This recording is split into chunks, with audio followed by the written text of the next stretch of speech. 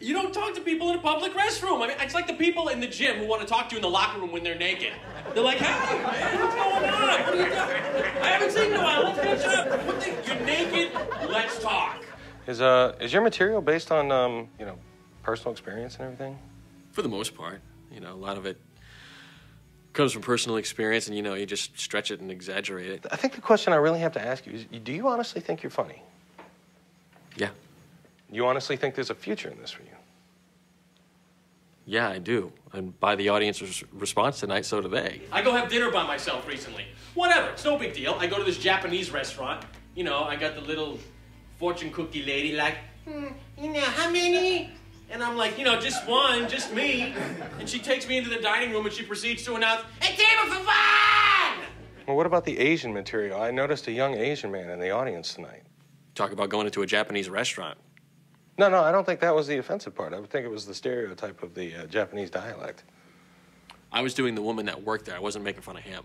You know, now I gotta try and get through dinner with everybody staring at me like I'm in some fucking people aquarium. You know, they're like, mm, honey, look, there's another person having dinner all by himself. It's chopsticks. He's just like we do. What about the rest of your material? Uh, Was all of that old material, or was any of that new material? No, uh, some of it was new.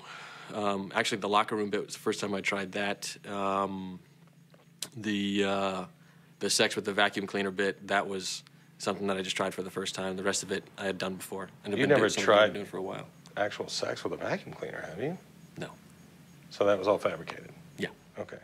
You you do things to try and get that laughter, get that punchline. That's what keeps bringing you back. That's what gets the clubs to bring you back or bring you in because you're Nothing's making off limits. Would you do black humor? Man, I didn't say that nothing was off limits. Would you do black humor?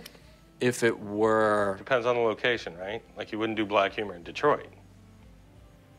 don't know. I mean, I don't have any black humor in the set, so I mean, it really doesn't apply to me. Something again. You want me to work on it? I'll try and work something out and see if it approve. You know, if you approve. Well, if I mean, if you want an approval process, I can be there for you. Well, that's where it seems like you're going with this. I mean, you know, you're talking about what offends you and what potentially offends other people, the offensive stuff. I mean, you know, what are you hiding behind? You're back there behind the camera. I'm the one putting myself out there every night. You know, you put yourself up there and see what it's like. How is it behind the camera? It's fine back here. Yeah, it's pretty easy, isn't it? It's great. Yeah. Well, this is where I belong. This is what I and do. that's where I belong. But I don't fabricate things back here. Like right now, what we're getting from you, this is truth, Oh, absolutely. Or somewhat the truth.